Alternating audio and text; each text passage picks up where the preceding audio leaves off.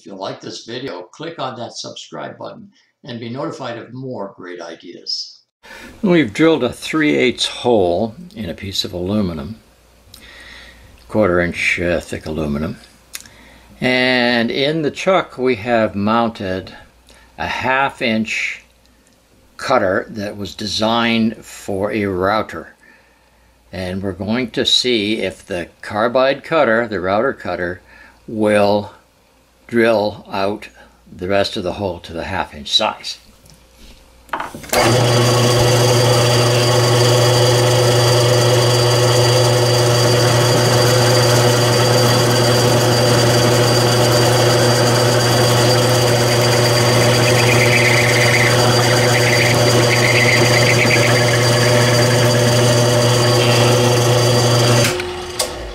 Wow, that looks like a pretty nice smooth job.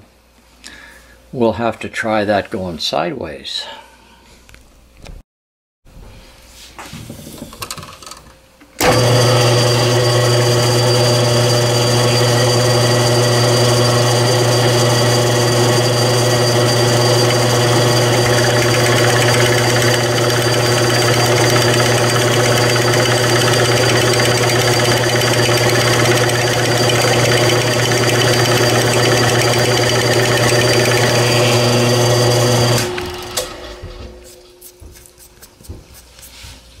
Not bad.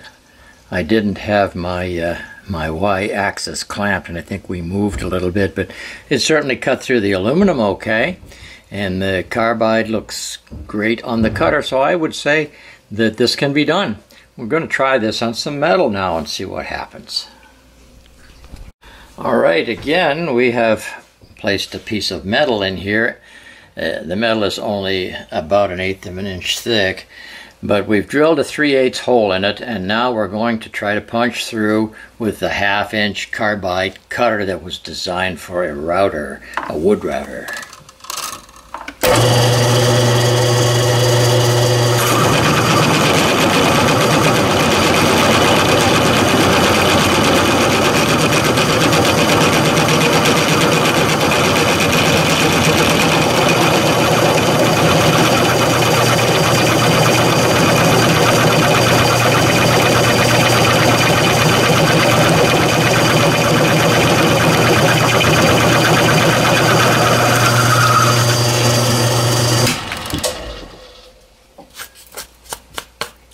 Well, nice smooth finish.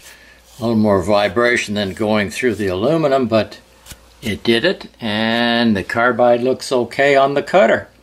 Let's see if we can create a slot now.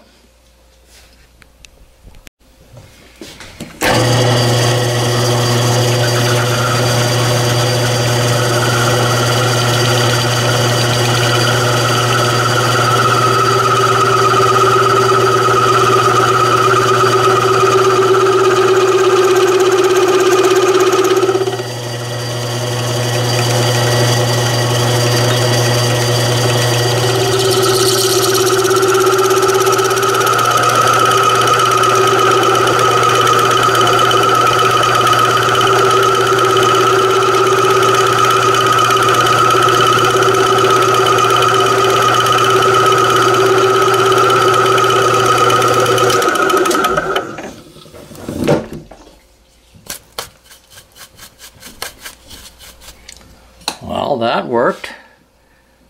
Not bad for for what I'm using, that's for sure. Let's have a look at this and see if there's any damage to it. It looks pretty good. The carbide isn't chipped or damaged in any way.